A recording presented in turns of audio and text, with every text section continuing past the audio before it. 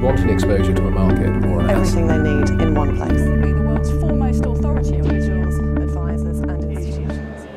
Economics is based on the principle of the rational man uh, or the rational woman. Uh, but economists are typically men, and hence they go for the rational man. Now, you all look incredibly rational to me. I hope I look reasonably rational to you. The reality is, though, that none of us are. Uh, we all suffer from behavioral biases uh, which we struggle to overcome. We struggle to overcome because often we don't recognize them.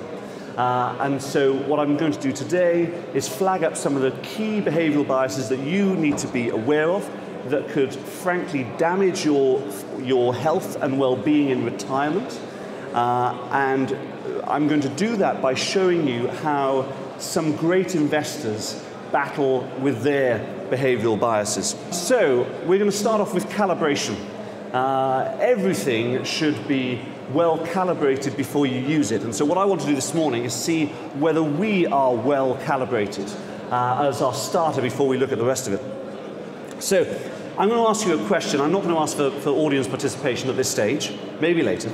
Uh, and my question is what is the length of the Nile? I just want you to pick a range uh, where you are 90% confident uh, that the length of the Nile falls within that range. So minimum and maximum. Okay, so it could be it could be 10 miles to 500 miles, or whatever your whatever your range is. Here's the actual answer: 4,199 miles. I got this wrong the first time I did it. Um, if you find you've also got it wrong, that's a behavioural bias. You could have picked any number you want to be 90% confident, but you probably went for a, a, a smaller number. You went for quite a short range. What does that tell you? What does it tell, tell about me? We are overconfident in our ability to predict. Overconfidence is the first sin, and it is the bane of our lives. Um, you've got to be very, very careful about anybody that gives you any predictions. So, what's the response to that? And here we get to my first investor, lovely smiling chap. He's a West Ham fan, but we forgive him for that. Uh, and his name is Alistair Mundy. Uh, and Alistair uh, is a contrarian investor. Uh, he is a value investor, he's also one of the most disciplined investors I know. And this is really the key here that he realizes that he is an appallingly badly calibrated individual. And he freely admits it.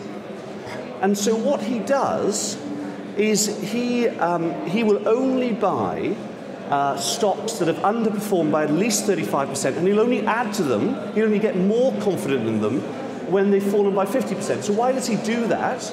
Because he believes that over the long run, stocks tend to revert to their, to their mean. What goes down does come up and vice versa. And so he tries to buy things that everyone else dislikes, uh, so he doesn't have to make forecasts, he doesn't have to make predictions, he just buys things that look very, very cheap. So my first, um, my, my first recommendation is be disciplined. Accept that we are not generally well calibrated and be disciplined uh, when, you're, um, when you're investing. So the next thing is observation. We suffer from the illusion of knowledge. We think we know things, but often we don't. And the, the, quite often, sorry, let me do that. Um, quite often it's because we're concentrating on the wrong things. There's too much information. So my next example is a chap called Clive Beagles, a brilliant amateur cricketer. Uh, if, you're going to, if you're involved in cricket and he steps up to the crease, then you're in real trouble. But um, what does Clive do? Well, he realizes that, he, that we have all this bad information, this cloud of news and comment that surrounds us all the time. So he focuses on one thing. And he focuses on uh, stocks in the, in the UK market that yield a lot more than the benchmark index.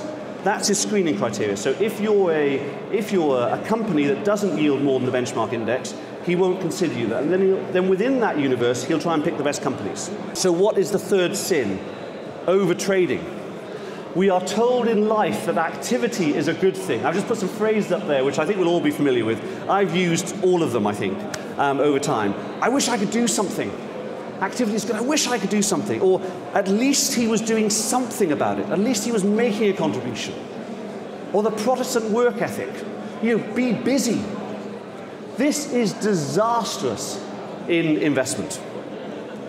I've got here a chart that shows the average holding period of, uh, of stocks um, listed on the New York Stock Exchange um, over the period since 1900. Um, so the first half of the century, short holding periods. But what we've seen is from 1940 onwards, we've had a gradual decline in holding periods.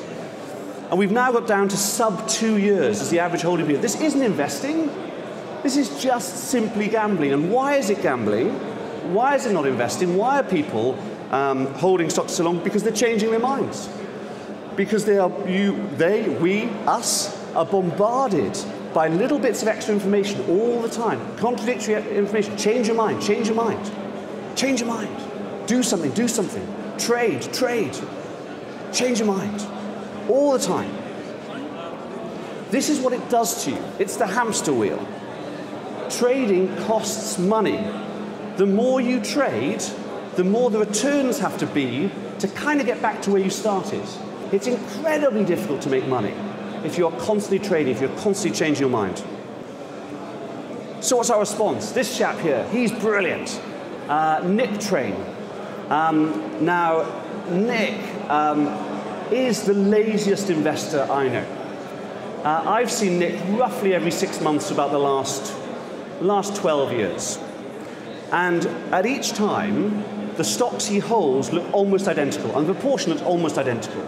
Uh, he comes into the office and he works incredibly hard and does almost nothing. He, his average turnover, the last time I looked at it, was about 7% a year. And uh, some, some years he doesn't trade at all. He tries to find great companies on reasonable valuations and invest forever. It's, it's the Warren Buffett approach. Sin 4 believing stories. It's how we perceive the story. Narrative order makes a huge difference. There's been wonderful experiments done based on how you can influence juries in criminal trials based on how you portray the evidence. It's incredible. So, be very, very careful of stories. You are going to hear so many stories as, a, as, uh, as lay investors. Uh, be incredibly cynical of all of them. So who's our remedy? Who's, who's the guy who sorted this bit out? Uh, and this is Philip Wolstencroft. Um, he runs what's called a quantitative approach. Uh, so he never meets company managers, he never meets brokers, he doesn't talk to anyone in the city. Um, he's a nice guy. He's not some misanthrope, but he just doesn't engage with the market. He has a series of data screens which he looks at, and it's from that data alone that he picks his companies. He, what he's looking for is companies that are cheaper than average, higher quality than average, and growing faster than average. And that's all he does. This guy should therefore be less susceptible. No one can be completely immune to stories. I'm not, you're not, he's not. You can't be completely immune to them, but he is far less susceptible to stories than people who engage in the market and, and talk to brokers and all that sort of thing. So when you're building your portfolio, look at cold, hard facts and numbers. All the best investors I know, when they read a report and accounts, they start at the back and work their way forward. They never start with a chairman's statement and work their way to the back. The chairman's statement is always a scene setter. It's always to change your mind, make it as positive as possible.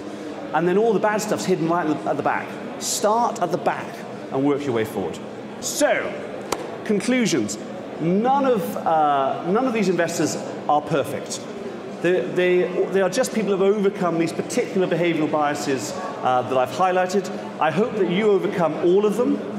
But the key things I'd be aware of are overconfidence, trying to gauge too much knowledge, overtrading, and whatever you do, ignore stories. Keep your strategy simple, ignore the noise, be a contrarian. And that's it from me. Thank you so much for your attention this morning. You have been fantastic. Have a great day and, uh, and some great investing. Thanks.